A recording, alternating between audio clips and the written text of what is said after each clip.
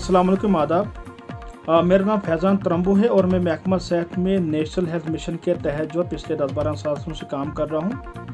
मेरा ताल्लुक ज़िला डोडा से और मैं पहले ज़िला डोडा में बाहिस्ते सदर भी रह चुका हूँ एम्प्लॉज़ का और अगर जम्मू डिवीज़न की बात करें, सूबा भी बात करें तो मैं सबका तर्जुमान भी रह चुका हूँ।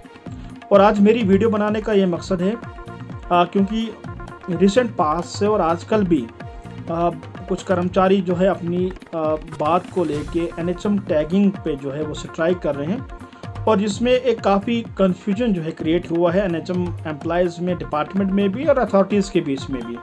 और उन चीज़ों को क्लियर करने के लिए मैं आज आपके सामने जो है कुछ चीज़ों को जो है पॉइंट्स को डिस्कस करना चाहता हूँ। दरअसल जो कर्मचारी लगे हैं, हम उनकी डिमांड्स के अगेंस्ट नहीं है। मैं सबसे पहले ये वाजे करना चाहता हूँ हम उनकी डिमांड्स के अगेंस्ट नहीं हैं।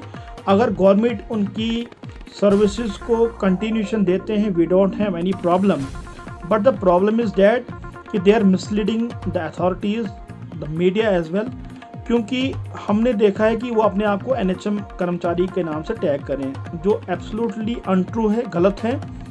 और जब उनकी तैनाती हुई थी कोविड जब सर्ज काफ़ी हो रहा था तो उस टाइम गवर्नमेंट पे एक काफ़ी चैलेंज था और उनको जो है employees emergency COVID response package के तहत जो है उनकी तैनाती की गई थी to overcome the burden of heavier health department तो इसलिए उनकी तैनाती की गई थी। उसमें एक स्पेसिफिक पीरियड लिखा गया था कि तीन महीने और extendable up to six month तो हमें उस चीज़ से कोई नहीं अगर गवर्नमेंट उनको एक्सटेंड करती है और उन्होंने काफ़ी अच्छा काम भी किया, हम उसके खिलाफ भी नहीं है।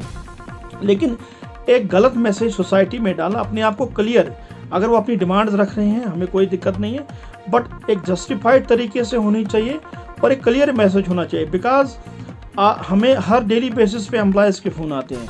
हमें हर बहुत सारी एजेंसियों के फ़ोन आते हैं। चाहे मैं कश्मीर की बात करूँ, जम्मू की बात करूँ, हमें फ़ोन आते हैं कि आपके कर्मचारी जो है वो टर्मिनेट किए गए हैं। लेकिन ऐसा कुछ नहीं आ, जो एनएचएम के कर्मचारी हैं आज की डेट में कोई भी हमारा साथी जो है टर्मिनेट नहीं हुआ है।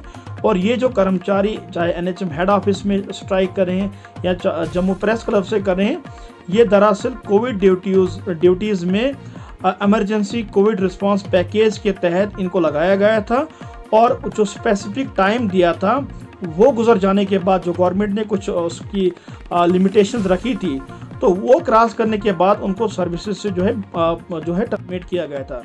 तो वो जो डिमांड्स रखते हैं, हमें उससे कोई एतराज़ नहीं है। अगर गवर्नमेंट उनको एक्सटेंड भी करती है उनकी सर्विस से, तब भी, क्योंकि वो भी हमारा हिस्सा है। जिस तरह हमने कोई प्रोफेशनल डिग्रीज एंड डिप्लोमास किए हैं, उन्होंने भी उसी तरह पे किए हैं।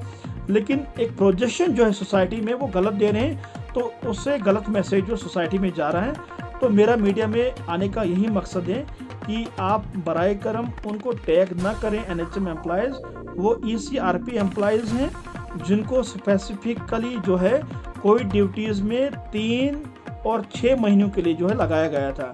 अब वो अपने आप को जो है और एक बात जो है कि वो आ, ऐसा भी कह रहे हैं कि जो हमने उनके लीडर्स के मुँह से सुना जो उन्होंने प्रेस में दिया है कि जो 2005 से स्कीम में लगे उनको भी फिर टर्मिनेट किया जाए।